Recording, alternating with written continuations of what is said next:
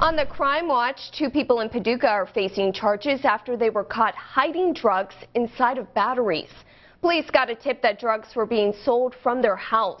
When officers made a stop there on Saturday, they found 31-year-old Christopher Miller and 29-year-old Megan Wagner getting into a car. The canine sniffed out a flashlight in the front seat, and when officers checked the batteries, they discovered small bags of meth and painkillers.